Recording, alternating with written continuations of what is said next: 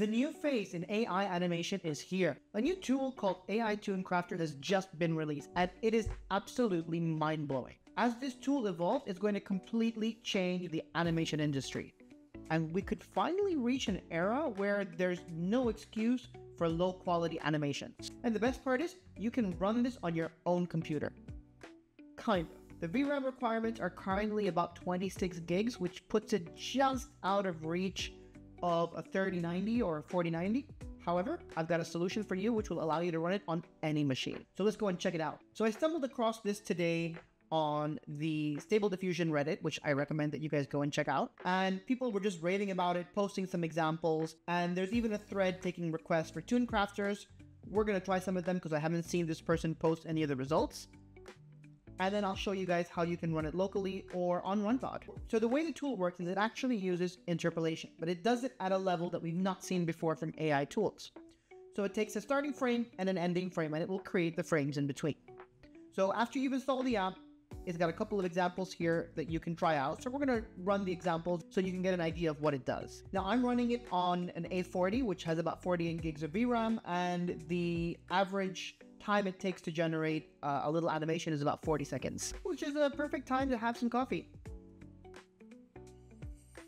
And there we have it. We can see how clearly the animation has come out. Now to give you an idea as to how impressive that is, here are some examples from other AI interpolation tools. And you can see how drastically the difference is, how coherent the interpolation is, and the animation between frames. So how do we use this? How do we install this? How do we take advantage of it? Let's go and look at that now. So to show you how powerful this is, I didn't just use the examples provided. I actually went and generated my own AI image using one of my favorite tools, Scenario, where I just simply took a female character, I redrew her eyes so that she was blinking, I fed those in, and this, this was the result. Simple but effective. They don't have a comfy UI node for this yet, but I've heard that one is coming. So as soon as that's out, we'll do a tutorial on that as well. I'm really excited. This could bring a whole new level of animation to the industry. So I'm going to show you how to install it on RunPod. Now, everything that we're doing here, you can do it in your console on Windows or on Linux or Mac, and it should work exactly the same. I'll give you instructions as we go along. And if you don't have a RunPod account, please use my affiliate link down below. It gives me a few extra credits on RunPod whenever you use it, which helps me continue to create content and come up with experiments for you guys. So once you're here in RunPod, head on over to deploy, and you're gonna wanna grab a GPU that's got at least 48 gigs of VRAM. So the cheapest one available that I can see is the A40 at 69 cents an hour. So we're gonna go ahead and grab that one. Now the best template that you, now the template that you wanna be using for this that has worked well for me is PyTorch 2.20. So let's go ahead and run that. And the nice thing about this is the installation is pretty quick. I will be coming out with a template that will take you straight into this so you don't have to do all of this in the future, but it might take me a few days to come out with it. And of course, uh, it'll be shipped uh, 48 hours first to my Patreon. So go and check that out if you want this template out right away. So once we've got our pod up and running, let's head on in and connect and it'll give us a Jupyter Lab by default. Once we're in here, we're presented with an empty workspace. So go ahead and open up your terminal. And the first thing that we're gonna do is grab the Crafter Git and grab their Git HTTP. Come back over to your lab and we're going to clone the URL. Oops, sorry, git clone and that will set up Toon Crafter for you. Now we're going to do a couple of things a little bit different from what they recommend, so please stay tuned. So once you've got Toon Crafter downloaded onto your computer or your Jupyter Lab, you'll have a folder called Toon Crafter. Go ahead and cd into that. So cd Toon Crafter, and just run an ls or dir to make sure that you've got all of the same files. Now, if we look at the instructions, they say that you should create and activate a Conda environment. If you're doing this on your Linux, Windows, or Mac machine, I do recommend that you go ahead with this. However, if you're doing it on RunPod, you can skip that step as it's an isolated pod. Everything that you set up and install in this is just for this instance. So we can go ahead and just grab the pip install requirements. So go ahead and do that. Now you might get some errors come up. I've been able to ignore them and run this without a problem. So while it's doing that, let's go ahead and grab the required model. So coming back to the Git, the model is specified over here, and I'll put a link again in the description down below just to make it easy for everyone. So go over to the Hugging Face, and you'll be presented with this page where it says here, but you can still download it. Just right click that, copy the link, come back to your Jupyter Lab, and just wait for it to finish. While we wait for that to finish installing, I just wanted to take a minute to tell you guys about our Discord channel. Please come by, especially if you guys are installing this and you're testing out some animations. We love to see the work that everyone is creating, so please come over and share your results. I also wanted to tell you a little bit about my Patreon. It's a fantastic place for you to come and support the channel. We post all kinds of things there, including early releases of our videos, exclusive workflows, and a whole bunch of other things just for our patrons. Your support makes it possible for me to continue making this content, and I appreciate every single one of you guys. Okay, there we go. It's done. So this is what I was talking about earlier. You might get this error where it has a dependency conflict. I was able to ignore that and go without a problem because this is supposed to be a PyTorch 220 environment, which we see here, right? PyTorch 220. So I'm not really sure why it thinks that we're only running Torch 2. Like I said, I was able to ignore that and make everything work. Okay, so now that we've got ToonCrafter installed, the next step is we need to download that model that we copied earlier. So let's cd into ToonCrafter. Oops, don't cd into ToonCrafter because we're already in there. But you do need to create a checkpoints directory. So we're going to go ahead and type in make dir checkpoints, cd into checkpoints. And then we need to create the directory tooncrafter underscore 512 underscore interp underscore v1. Again, I've posted it in the description below. Just copy paste it.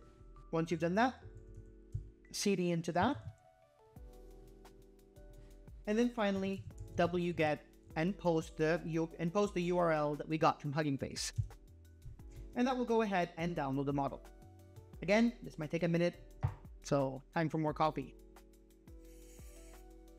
Great, and once you've got that, on your side panel, go into the ToonCrafter folder and look for the file called gradioapp.py.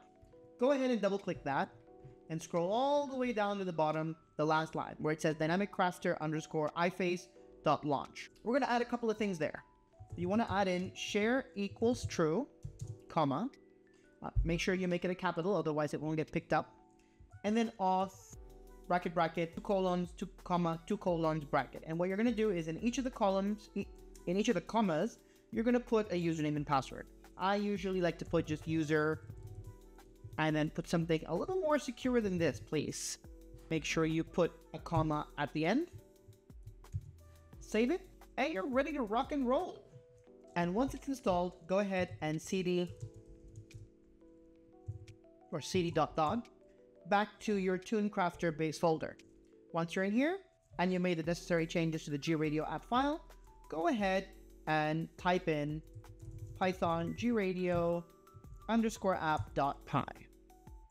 And that's it. That's all you have to do. The app will initialize and you'll get two URLs. One is your local one, which is going to be a 127.0.0 one with the required port, and another one will be a public URL that you can use because you're running on RunPod. That's the URL that you want. And don't worry if it looks like it's hanging here, that's normal. It takes it a minute to warm up. And there we go. As you can see here, we've got our local URL and our public one. Go ahead and click the public one. If you're running on RunPod, go ahead and click the public one. If you're if you have a GPU that's beefy enough to handle this locally, go ahead and click the local one. Type in your username and password that you set. I ended up changing it. And there we go. We have it. You've got it installed. Now let's try a couple of those images out from the request thread. Just be careful when dragging it in that the little red highlighter is there, otherwise that will happen. It's a bit annoying. Snake singing. Cartoon snake singing. Run it, and like I said, after about 40 seconds, we'll get an animation. Now, as you saw at the beginning of the video, I specifically tested it on an AI image because all of these examples are from cartoons where these keyframes were designed to be interpolated or have someone draw the frames in between. So I would imagine that they perform quite well because they're designed with that in mind. So let's check it out. And wouldn't you know it, I test the tool off camera and it works fine with the examples I give and then examples I choose for camera and recording are the ones that don't work. Let's try this again. Okay, let's remove cartoon.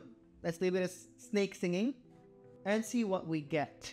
I swear, the curse of Murphy's Law is strong within me.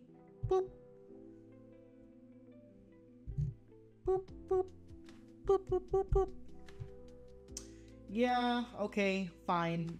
That was not working that well. Let's try another one. Let's try this one. It seems to like anime images. Alright, attempt number two. And this time we'll go for a more vague prompt similar to what they've got here the examples, an anime scene. Let's also give it a bit of a different seed. And let's see what we get. Okay, that one was a lot better. None of the weird fuzzy and whatchamacallit happening. I mean, it's a little awkward because it is trying to get from here to here, but the animation is smooth. There's no weird stuff happening except for the eye winking part. Let's do one more. Possibly. I don't know what I'm doing, just random ninja hand motion. There we go. Pretty smooth. Like I said, I'll be testing this out a lot more in the coming days, so I'll be posting my results in the Discord and my Instagram. So follow me and come and check us out on Discord. Post your results on Discord. I'd love to see what you can do with this. I've also got a couple of other videos popping up around here that you should absolutely check out from. And thanks, I'll catch you guys in the next one.